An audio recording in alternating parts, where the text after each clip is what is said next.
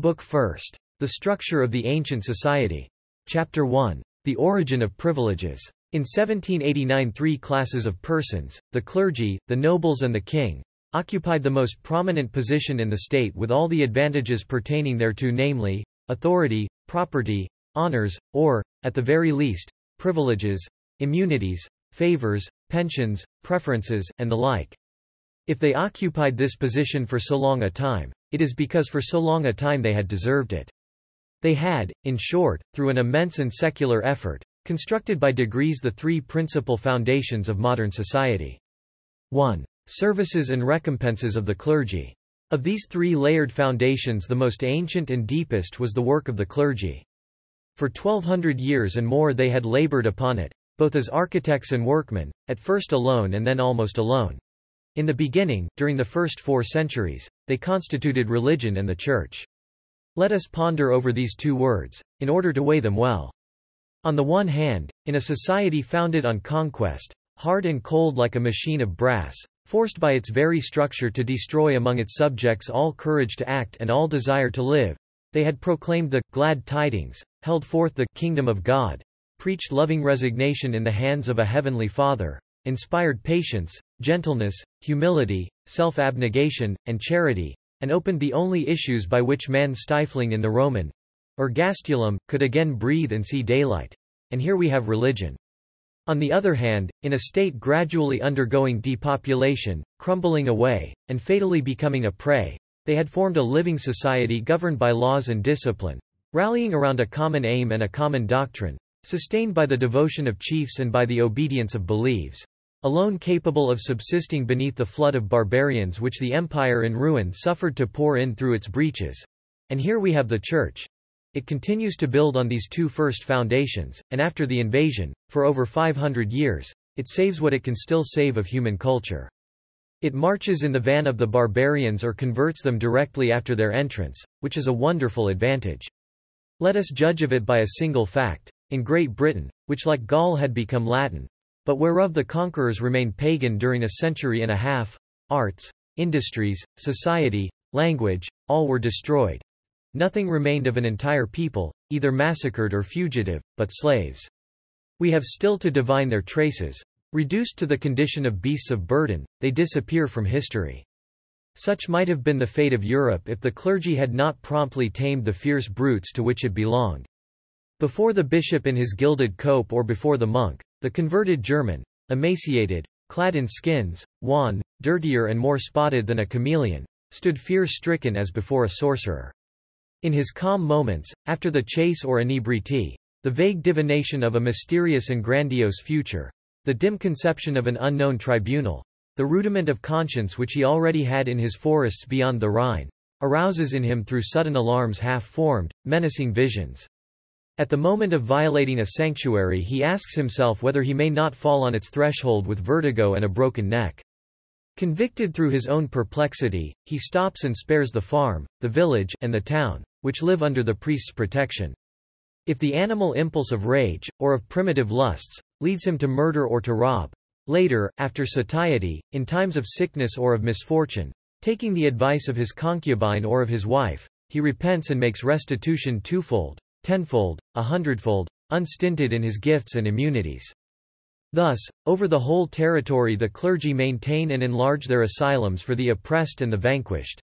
On the other hand, among the warrior chiefs with long hair, by the side of kings clad in furs, the mitred bishop and abbot, with shaven brows, take seats in the assemblies. They alone know how to use the pen and how to discuss. Secretaries, counselors, theologians, they participate in all edicts. They have their hand in the government. They strive through its agency to bring a little order out of immense disorder. To render the law more rational and more humane. To re-establish or preserve piety, instruction, justice, property, and especially marriage. To their ascendancy is certainly due the police system, such as it was, intermittent and incomplete, which prevented Europe from falling into a Mongolian anarchy. If, down to the end of the 12th century, the clergy bears heavily on the princes, it is especially to repress in them and beneath them the brutal appetites, the rebellions of flesh and blood, the outbursts and relapses of irresistible ferocity which are undermining the social fabric. Meanwhile, in its churches and in its convents, It preserves the ancient acquisitions of humanity, the Latin tongue, Christian literature and theology, a portion of pagan literature and science, architecture, sculpture, painting, the arts and industries which aid worship. It also preserved the more valuable industries, which provide man with bread, clothing, and shelter, and especially the greatest of all human acquisitions, and the most opposed to the vagabond humor of the idle and plundering barbarian, the habit and taste for labor. In the districts depopulated through Roman exactions, through the revolt of the Bagauds, through the invasion of the Germans, and the raids of brigands, the Benedictine monk built his cabin of boughs amid briars and brambles. Large areas around him, formerly cultivated, are nothing but abandoned thickets. Along with his associates he clears the ground and erects buildings, he domesticates half-tamed animals, he establishes a farm, a mill, a forge, an oven, and shops for shoes and clothing. According to the rules of his order, he reads daily for two hours. He gives seven hours to manual labor, and he neither eats nor drinks more than is absolutely essential. Through his intelligent, voluntary labor, conscientiously performed and with a view to the future, he produces more than the layman does. Through his temperate, judicious, economical system he consumes less than the layman does. Hence it is that where the layman had failed he sustains himself and even prospers. He welcomes the unfortunate, feeds them, sets them to work, and unites them in matrimony. And beggars, vagabonds, and fugitive peasants gather around the sanctuary. Their camp gradually becomes a village and next a small town. Man plows as soon as he can be sure of his crops, and becomes the father of a family as soon as he considers himself able to provide for his offspring. In this way new centers of agriculture and industry are formed, which likewise become new centers of population. To food for the body add food for the soul, not less essential. For, along with nourishment, it was still necessary to furnish man with inducements to live, or, at the very least, with the resignation that makes life endurable, and also with the poetic daydreams taking the place of missing happiness. Down to the middle of the 13th century the clergy stands almost alone in furnishing this. Through its innumerable legends of saints, through its cathedrals and their construction, through its statues and their expression, through its services and their still transparent meaning, it rendered visible the kingdom of God. It finally sets up an ideal world at the end of the present one, like a magnificent golden pavilion at the end of a miry morass. The saddened heart, athirst for tenderness and serenity, takes refuge in this divine and gentle world. Persecutors there, about to strike, are arrested by an invisible hand. Wild beasts become docile. The stags of the forest come of their own accord every morning to draw the chariots of the saints. The country blooms for them like a new paradise. They die only when it pleases them. Meanwhile they comfort mankind. Goodness, piety, Forgiveness flows from their lips with ineffable sweetness. With eyes upturned to heaven, they see God, and without effort, as in a dream, they ascend into the light and seat themselves at his right hand. How divine the legend, how inestimable in value, when, under the universal reign of brute force, to endure this life it was necessary to imagine another, and to render the second as visible to the spiritual eye as the first was to the physical eye. The clergy thus nourished men for more than twelve centuries, and in the grandeur of its recompense we can estimate the depth of their gratitude. Its popes, for 200 years, were the dictators of Europe. It organized crusades, dethroned monarchs and distributed kingdoms. Its bishops and abbots became here, sovereign princes, and there, veritable founders of dynasties. It held in its grasp a third of the territory, one half of the revenue, and two-thirds of the capital of Europe. Let us not believe that man counterfeits gratitude, or that he gives without a valid motive. He is too selfish and too envious for that. Whatever may be the institution, ecclesiastic or secular, whatever may be the clergy, Buddhist or Christian, the contemporaries who observe it for forty generations are not bad judges. They surrender to it their will and their possessions, just in proportion to its services, and the excess of their devotion may measure the immensity of its benefaction. 2. Services and recompenses of the nobles. Up to this point no aid is found against the power of the sword and the battle axe except in persuasion and in patience. Those states which, imitating the old empire, attempted to rise up into compact organizations, and to interpose a barrier against constant invasion, obtained no hold on the shifting soil. After Charlemagne everything melts away. There are no more soldiers after the Battle of Fontanet, during half a century bands of four or five hundred outlaws sweep over the country, killing, burning, and devastating with impunity. But, by way of compensation, the dissolution of the state raises up at this very time a military generation. Each petty chieftain has planted his feet firmly on the domain he occupies, or which he withholds. He no longer keeps it in trust, or for use, but as property and an inheritance. It is his own manor, his own village, his own earldom. It no longer belongs to the king. He contends for it in his own right. The benefactor, the conservator at this time is the man capable of fighting, of defending others, and such really is the character of the newly established class. The noble, in the language of the day, is the man of war, the soldier, Miles.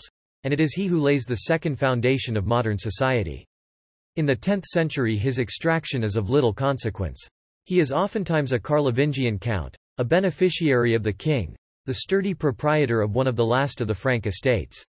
In one place he is a martial bishop or a valiant abbot in another a converted pagan, a retired bandit, a prosperous adventurer, a rude huntsman, who long supported himself by the chase and on wild fruits. The ancestors of Robert the Strong are unknown, and later the story runs that the Capets are descended from a Parisian butcher. In any event the noble of that epoch is the brave, the powerful man, expert in the use of arms, who, at the head of a troop, instead of flying or paying ransom, offers his breast, stands firm, and protects a patch of the soil with his sword. To perform this service he has no need of ancestors, all that he requires is courage, for he is himself an ancestor. Security for the present, which he ensures, is too acceptable to permit any quibbling about his title. Finally, after so many centuries, we find each district possessing its armed men, a settled body of troops capable of resisting nomadic invasion. The community is no longer a prey to strangers. At the end of a century this Europe, which had been sacked by the Vikings, is to throw 200,000 armed men into Asia. Henceforth, both north and south, in the face of Moslems and of pagans, instead of being conquered it is to conquer. For the second time an ideal figure becomes apparent after that of the saint, the hero. And the newborn sentiment, as effective as the old one, thus groups men together into a stable society. This consists of a resident corps of men at arms, in which, from father to son, one is always a soldier. Each individual is born into it with his hereditary rank, his local post, his pay and landed property, with the certainty of never being abandoned by his chieftain, and with the obligation of giving his life for his chieftain in time of need. In this epoch of perpetual warfare only one setup is valid, that of a body of men confronting the enemy, and such is the feudal system. We can judge by this trade alone of the perils which it wards off, and of the service which it enjoins. In those days, says the Spanish General Chronicle, kings, counts, nobles, and knights, in order to be ready at all hours, kept their horses in the rooms in which they slept with their wives. The Viscount in his tower defending the entrance to a valley or the passage of a ford, the Marquis thrown as a forlorn hope on the burning frontier, sleeps with his hand on his weapon, like an American lieutenant among the Sioux behind a western stockade. His dwelling is simply a camp and a refuge. Straw and heaps of leaves cover the pavement of the great hall. Here he rests with his troopers, taking off a spur if he has a chance to sleep. The loopholes in the wall scarcely allow daylight to enter. The main thing is not to be shot with arrows. Every taste, every sentiment is subordinated to military service. There are certain places on the European frontier where a child of 14 is required to march, and where the widow up to 60 is required to remarry.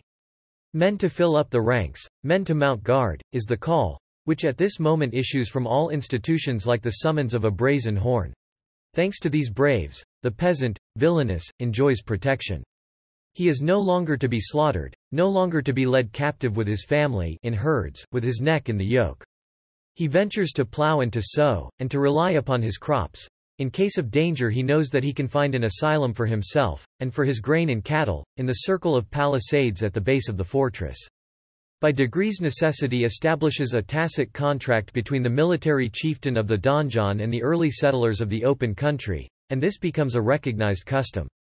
They work for him, cultivate his ground, do his carting, pay him quittances, so much for house, so much per head for cattle, so much to inherit or to sell, he is compelled to support his troop. But when these rights are discharged he errs if, through pride or greed, he takes more than his due. As to the vagabonds, the wretched, who, in the universal disorder and devastation, seek refuge under his guardianship, their condition is harder. The soil belongs to the Lord because without him it would be uninhabitable. If he assigns them a plot of ground, if he permits them merely to encamp on it, if he sets them to work or furnishes them with seeds it is on conditions, which he prescribes. They are to become his serfs, subject to the laws on Mainmorte.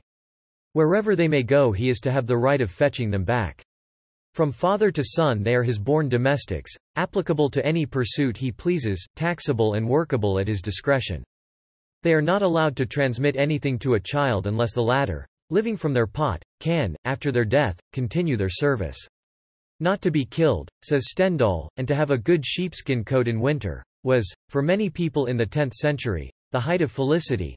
Let us add, for a woman, that of not being violated by a whole band. When we clearly represent to ourselves the condition of humanity in those days, we can comprehend how men readily accepted the most obnoxious of feudal rights, even that of the droit du seigneur. The risks to which they were daily exposed were even worse. The proof of it is that the people flocked to the feudal structure as soon as it was completed. In Normandy, for instance, when Rollo had divided off the lands with a line, and hung the robbers, the inhabitants of the neighboring provinces rushed in to establish themselves.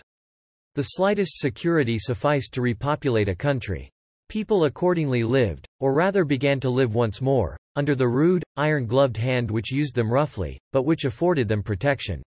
The seigneur, sovereign and proprietor, maintains for himself under this double title, the moors, the river, the forest, all the game. It is no great evil, since the country is nearly a desert, and he devotes his leisure to exterminating large wild beasts. He alone possessed the resources. He is the only one that is able to construct the mill, the oven, and the winepress. To establish the ferry, the bridge, or the highway, to dike in a marsh, and to raise or purchase a bull. To indemnify himself he taxes for these, or forces their use. If he is intelligent and a good manager of men, if he seeks to derive the greatest profit from his ground, he gradually relaxes, or allows to become relaxed, the meshes of the net in which his peasants and serfs work unprofitably because they are too tightly drawn. Habits, necessity, a voluntary or forced conformity, have their effect. Lords, peasants, serfs and bourgeois, in the end adapted to their condition, Bound together by a common interest, form together a society, a veritable corporation. The seigneury the county, the duchy becomes a patrimony which is loved through a blind instinct, and to which all are devoted. It is confounded with the seigneur and his family. In this relation people are proud of him. They narrate his feats of arms. They cheer him as his cavalcade passes along the street. They rejoice in his magnificence through sympathy. If he becomes a widower and has no children, they send deputations to him to entreat him to remarry, in order that at his death the country may not fall into a war of succession or be given up to the encroachment of neighbors.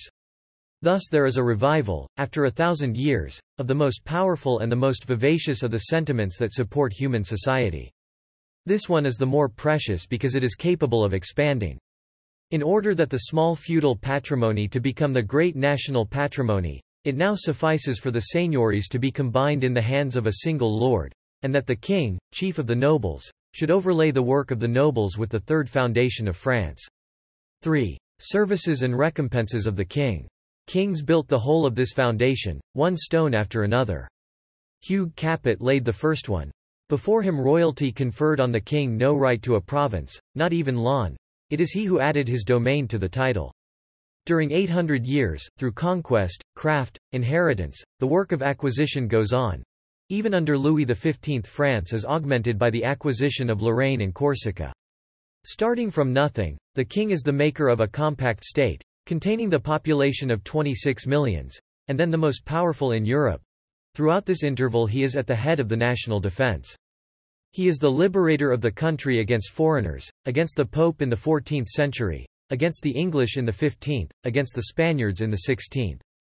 In the interior, from the 12th century onward, with the helmet on his brow, and always on the road, he is the great justiciary, demolishing the towers of the feudal brigands, repressing the excesses of the powerful, and protecting the oppressed.